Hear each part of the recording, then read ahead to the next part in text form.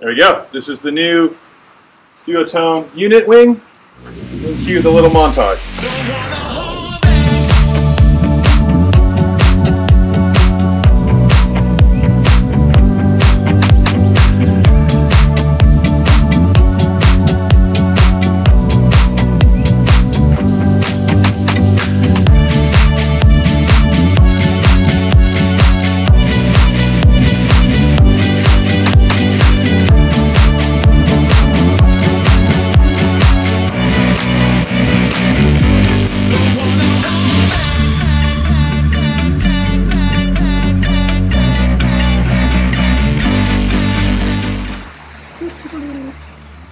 New Duotone unit wing.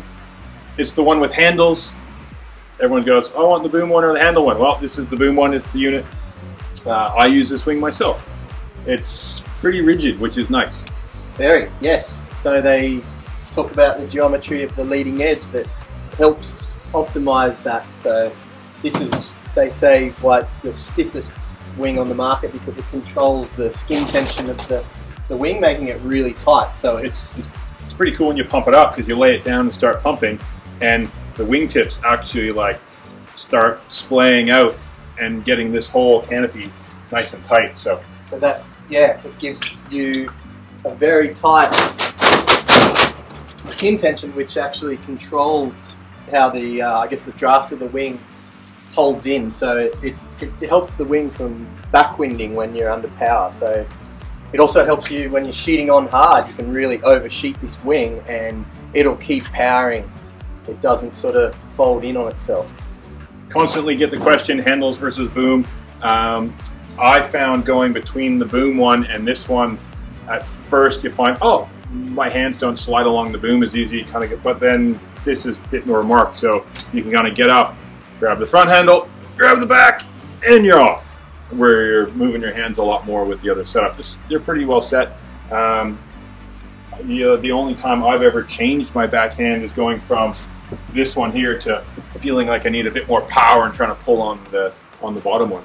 Yeah, and you get used to it. So everyone that we've spoken to and myself, I've come from a boom. First day out on the water, it felt foreign because I felt like I had to always sight the handle, but it does it does get to the point where you physically just grab the handle naturally. You start to get used to your wing once you start riding it, and But Yeah. handles mean a lighter setup. So having it lightweight, this is more the downwind wave riding setup. You can just hold the front handle. It does float and hold itself up really nice and easy flying one hand. yeah, it's very stable, so it doesn't swing around, doesn't twist around side to side. It sort of can trail you. They have tightened up this handle too, so I find a lot of the time if you're on a speedy downwind run or you're surfing, you can physically hold that front handle to keep it from twisting. And if you feel it twisting one way, you can sort of counter it, so that really helps. Um, yeah, you're, you're looking at a very lightweight, very oh the, the leading edge, the center strut, sorry, is a massive factor if you're considering wave riding. It stays up above the water, so this keeps the wing ready for you to just lift up and go. Some people with booms find that it can sink a little bit, but the better you get, the less I have problems with the boom as well. So, but this eliminates the wing going under the water ever. Yeah, I've found you know back to backing these with the boom. Um, this is a setup where it's uh, it's got that lighter weight. The the tension in this is very different. The new setup, the new unit, has that nice line through it, and it is more tunable through the canopy by being able to extend the boom. Um, but compared to the old wing with the boom, the draft is locked in so much better with this. It just it just feels like it's pulling from right here, this band across the middle here. It just that's where the power is. Your balance go out the handles, and in gusty spots, it's not shifting around, kind of get very backhand heavy or anything like that. It's just really quite a bit more consistent pull. yeah, handles stronger wind. Handles are very rigid too. So you actually get a bit of fair bit of feedback with these handles now. The EVA has really tightened that up. So yeah, unreal. I think it's one of the the fastest wings on the market too. Just just went over to WA and saw a lot of these on the water and equal amount of echoes too, which was really good because I think the new, all the new stuff that's coming through, you know, it's, it's in its infancy, but the bigger companies, especially the ones that have a windsurfing background and some experience there, and, and the kitings too, but really the windsurfing are focusing on that skin tension and getting it so it's more of a a wing profile. You can really see it here. The shape, you know, that's just inflated in the shop. This whole thing is nice and tight. A lot of other ones are really, really floppy.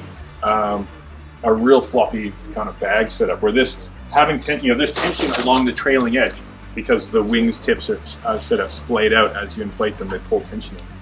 Really helps keep that everything locked in and be a more consistent feel. Woo! Window. It's got a window. Most of them do now. Dump valve, maybe extended a dump valve so you can leave that inflated. Look, Pump just- that up, Just, let it down with the dump just valve. get one. This is easy. It's fun.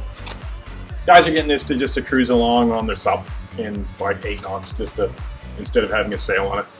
It's fun. That's not even that's not even the dinging. But then the dinging comes into it, and everyone's having a good time. Beauty. Beauty. Let's watch some more montage. Cue the montage. Cue the montage.